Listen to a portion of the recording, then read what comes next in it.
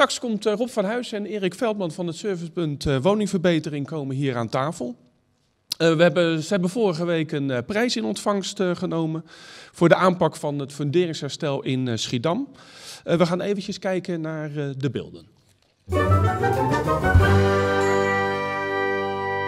Verderingsproblemen ga je merken door scheuren die in je huis komen. En dat, eh, dat zie je bijvoorbeeld uh, dat ze in de muren komen uh, en, en, in het plafond. En je merkt het voornamelijk ook aan deuren die ineens niet meer sluiten. Op een gegeven moment bleek dat onze palen dus uh, verrot waren. De kruipruimtes worden uitgegraven tot rond 210. En dan wordt er een werkvloer gestort. Uh, en in die werkvloer worden sparingen gehouden waar later de stalen buispalen ongeveer uh, 18 à 20 meter de grond in worden geslagen. Het kost een hoop geld en daarom heb ik ook besloten om het eh, extra diep te laten uitgraven, zodat ik een extra verdieping heb. De gemeente die heeft daarvoor een uh, financiering, een gunstige financieringsregeling uh, beschikbaar waar ze gebruik van kunnen maken. Ik woon hier al 25 jaar fijn, ja. ja, ja, ja. Dus we blijven nog even wonen. Allemaal enthousiaste verhalen op het gebied van uh, funderingsherstel. Uh, aangesproken, geschoven Rob van Huis, Erik Veldman. Um, gefeliciteerd met die prijs. Bedankt. Wat is het voor een prijs eigenlijk? Uh, het is een, uh, ja, een soort aanmoedigingsprijs. De Ad van Wensenprijs heet die. Die is dit jaar voor het eerst uitgereikt. Wij als servicepunt hebben deze gewonnen. En Ad van Wensen, om dat even uit te leggen wie dat is... Uh, dat is iemand die zich heel druk gemaakt heeft, uh, voornamelijk vanuit Dordrecht, waar heel veel funderingsproblemen waren. En heel veel onderzoek uh, gedaan heeft en ook gekeken naar wat zijn oorzaken en alles wat ermee komt, bij komt kijken. Hij is in 2014 overleden, maar hij is daarmee wel de grondlegger ook geworden voor het kenniscentrum aanpak funderingsherstel. En het KCAF, het kenniscentrum dus, die heeft uh, dit jaar een Lustrum-congres uh, gehouden. Daar hebben wij de prijs uh, in ontvangst kunnen nemen. En een onderdeel van het KCAF is de Belangenvereniging Funderingsgedupeerde Nederland.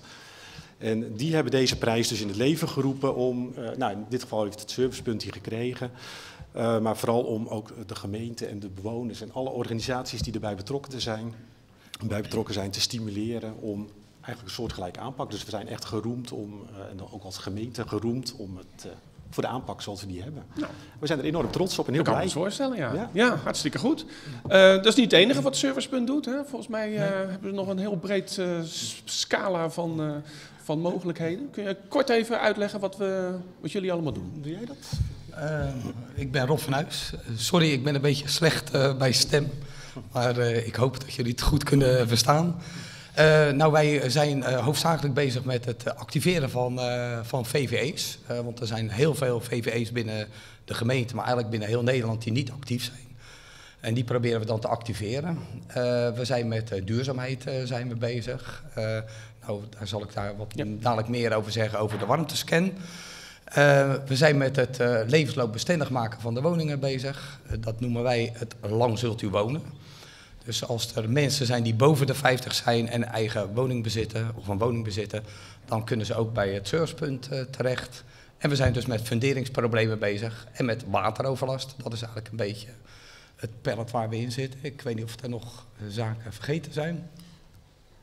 Nou, activeren en woningonderhoud in zijn algemeenheid, algemeen. dat is wel een hele belangrijke inderdaad. Dus het gaat niet alleen om verenigingen van eigenaren, maar ook eengezinswoningen, eigenaren daarvan. Uh, kunnen bij ons aankloppen en dan hebben we financieringsmogelijkheden uh, waar mensen gebruik van kunnen maken. Uh, er zijn wat subsidiemogelijkheden landelijk waar we in kunnen adviseren. Dus eigenlijk in de breedste zin van het woord, daar waar het de woning betreft, uh, kunnen mensen eigenlijk wel bij ons terecht. En het ja. is niet dat we altijd een antwoord kunnen geven, maar dan kunnen we altijd wel meedenken van, joh, waar zouden die antwoorden en oplossingen wel kunnen vinden. Ja, precies. Ja. En juist dat sparren met mensen, dat, uh, ja, dat is gewoon heel erg belangrijk. En er komen ja. soms hele mooie dingen uit. Helemaal gewoon een vooruitgeschoven post van de gemeente hè, om, uh, om de huiseigenaren zo goed mogelijk bij te staan bij allerlei problemen en oplossingen te bieden. Ja, nee, dat, dat klopt inderdaad. Wij zijn dan als servicepunt zeg maar de front office, het eerste aanspreekpunt. Maar uh, er zit inderdaad wel een heel team achter. En ja. dan ja, een projectcoördinator, een paar financiële mensen binnen de gemeente. Maar ook gewoon de, politiek die ons draagt, zeg maar, en de brede steun die we van daaruit hebben. Maar ook mensen die gewoon echt met de voet in de klei staan om het funderingsherstel te begeleiden met, met eigenaren. Waar je vaak over hele ingewikkelde projecten praat, met heel veel verschillende eigenaren. Ehm, ja, dat gebeurt allemaal onder de noemer van het servicepunt. Mm. Maar het is dus meer dan ons kantoortje aan de Singel Precies. 85, Ja, waar de mensen zitten. Er zit echt wel een heel apparaat achter. oké. Over, over met, de, met de, de poten in de klei te, te spreken. Jullie hebben een wijksactie gestart, eh, warmtescan. We kijken even wat, we, wat dat eigenlijk is. Van hieruit voeren we allerlei projecten uit op het gebied van woningverbetering in de breedste zin van het woord. Dus kun je denken aan echt woningverbetering, buitenkant, isolatie. Hallo, goedenavond. Hallo. Hallo. Hallo. Komen langs, je hebt je u hebt er zelf opgegeven voor een uh, warmtescan. Omdat dit steensmuren zijn, hè, want jullie hebben geen spouwmuren hier zitten. En dan kan je eigenlijk zien dat er hier in de hoek, dat er heel veel warmte weglekt. Kijk, zie je hoe licht dat daar is. En je kan hier ook in het midden zien dat hier een radiator zit. Heel veel warmte wat vanuit de radiator, dat wordt dan, komt dan direct naar buiten toe. En als je die radiatorfolie erop doet, met de glimmende kant naar de radiator zelf toe, dan wordt het warmte gereflecteerd weer naar binnen toe. Wij zijn als gemeente Schiedam zijn wij, eh, uniek dat wij dat als gemeente zelf aanbieden. Dat is wel heel dicht eh, bij, eh, bij de bevolking. Eh, hoe is dit initiatief ontstaan? Waarom eigenlijk? Ja, nou, we hebben begin dit jaar hebben ook zo'n infrarood scans uitgevoerd in Schiedam Noord.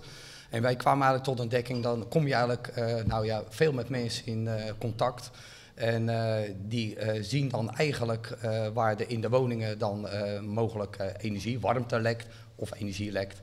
En dus indirect ook je geld weglekt, want eh, daar gaat het natuurlijk om. Ja. Dat is er aan de hand. En wat zijn de reacties als je zo'n warmtescan maakt van de eigenaren? Eh, heel verschillend. Eh, ja, er zijn echt mensen die, die verwachten eigenlijk dat ze een hele mooie woning hebben. En dat ze ontzettend goed geïsoleerd hebben. En dan nou, dat ze bijvoorbeeld bepaalde ramen eigenlijk zijn vergeten. Om daar bijvoorbeeld eh, of dubbel glas te doen. Of eh, nou ja, bijvoorbeeld het radiatorfolie is ook een van die dingen. Dan, eh, wij hebben dus deze actie nu in Schiedam-West hebben wij gedaan. En er zijn eigenlijk alle woningen zijn van voor 1930. En al die woningen die hebben eigenlijk maar een enkel steeds muur. Wat inhoudt dat er geen spouw zit. Dus geen binnen- en een buitenmuur dat je hebt. Wat je eventueel zou kunnen isoleren. En de mensen vergeten dat wel eens. En dan sta je met die mensen aan de buitenkant eh, van de woning sta je de foto's te maken. En dan zie je dus de radiator aan de buitenkant van het huis je gewoon zitten. Zie je gewoon opgloeien. Ja, klopt. Dus dat is echt eh, fantastisch. Ja. Dat is ook een van de, de zaken die we de afgelopen eh, vier weken hebben dat gedaan. Dan zijn we twee keer per week zijn we op pad geweest. vanuit de Erker zijn we eigenlijk eh, Schiedam West ingegaan. En daar hebben we zo'n rond de 80 eh, adressen hebben bezocht. Eh, en daar eh, hopen we dat er heel veel eh, ja, vervolg uitkomt. Dat ze de mensen ook daadwerkelijk gaan isoleren. ja. En het is in ieder geval zo dat de meest bijzondere dingen die we hebben gezien, of die ik zelf gezien heb, want ik heb zelf ook die foto's gemaakt, is dat er bij een meneer die had nou, zijn woning heel goed geïsoleerd en gedaan. Wij gaan met die meneer aan de buitenkant van zijn woning de foto's maken. We zien een hele rode streep zien we over de gevel lopen aan de buitenkant. En waarop ik eigenlijk aan die meneer ook vraag van, eh, kunt u misschien aangeven wat dat mogelijk zou kunnen zijn? En in eerste instantie wist die meneer dat niet en ineens zei hij zoiets van, volgens mij heb ik in het verleden de cv-leidingen weggetimmerd, heb ik een mooi koofje omheen gemaakt en die leidingen heb ik niet geïsoleerd. Oké. Dat ja. zag je letterlijk dus Ja. aan de buitenkant. Ja. En die meneer die had eh, zelf ook zoiets van, daar ga ik heel snel wat aan doen. ja. Dus je stimuleert de mensen ook om daadwerkelijk wat, eh, wat energiebesparende maatregelen te, te nemen. Ja. Ehm, die, eh, die scans die zijn nu gemaakt in, eh, in eh, Schiedam-West. Wat, wat is het vervolgtraject? Nou, het is eigenlijk zo dat iedereen binnen Schiedam die zou zich aan kunnen melden als ze ook een warmtescan uitgevoerd willen hebben. En dat kunnen ze via info.service.woningverbetering kunnen ze zich aanmelden. Dus eigenlijk, ik zou eigenlijk nou willen oproepen van, zi- zijn er mensen binnen Schiedam die ook zo'n infraroodfoto's eh, ge- gemaakt willen hebben, dan kunnen ze zich opgeven via info.service.woningverbetering. .nl. .nl. Ja, ja, ja, sorry. Ehm, er was ook nog iets in de Erken donderdag. Ja, Aanstaande? aanstaande? aanstaande donderdag is in ieder geval de afsluiting van het geheel. Eh, want de afgelopen weken hebben we eigenlijk maar heel korte tijd gehad. Dus elke keer hadden we maar een half uur om bij de mensen langs te gaan. En een half uur is eigenlijk heel erg kort. Vandaar dat we ook aan hebben gegeven, wij maken de foto's, wij sturen ze op.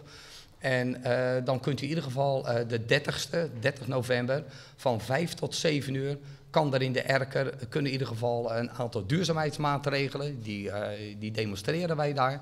En dan kunnen eventueel de foto's bekeken worden, voor zover het niet duidelijk is, van wat er op de foto te zien is. En daarnaast kunnen er dan de vervolgafspraken gemaakt worden om eventueel, bijvoorbeeld voor dubbelglas, en eh er was veel in Schiedam-West, hadden ze last van eh, koude voeten. Mhm. Eh, en dan kunnen ze ook nou, aanvragen om daar advies voor het isoleren van de vloer kunnen ze aan te Oké. vragen. En dat is allemaal zeg maar namens de gemeente Schiedam. Ja. Er hoeft verder ook geen bijdrage voor geleverd te worden. Nee. is allemaal gratis. Nee, en zelfs het advies is ook gratis. Iets wat ik ook nog wel aan wil geven, wat we de afgelopen weken ook hebben geleerd, is eigenlijk dat eigenlijk is eh, bijna niemand weet wat ze betalen voor de energiekosten. eh, Of wat ze aan energie verbruiken. Ik zou, het ook niet weten. Nee, je zou het ook niet Nee, weten. Nou, kijk, nee. dat is ook hetgeen waar wij dan ook eh, het gesprek ook mee beginnen. Weet u wat u betaalt? En eh, er waren zelfs ook eh, mensen, eh, woningen, die echt extreem veel eh, gas bijvoorbeeld gebruiken. Ik had gisteren een meneer die had eh 3100 kubieke meter aan gas. Wat zeer veel is voor een eh, gezin wat overdag niet aanwezig is Ja. met één kind. Dus, en daar doe je ook de mensen wel weer mee triggeren om daar in ieder geval toch wat aan duurzaamheid te gaan doen. Ja, En nogmaals, eh, energie besparen is ook geld besparen. precies. Nou, dat is een mooie kreet om mee af te sluiten. Ja. Ehm, donderdag hebben we dus van 5 tot 7 de inloop. Iedereen is welkom? Iedereen is welkom, ook eh, eigenlijk van heel Schiedam. Als mensen echt ook geïnteresseerd zijn in de warmtescan, willen weten ook hoe dat eruit ziet, dan kunnen ze gewoon bij ons langskomen. Oké.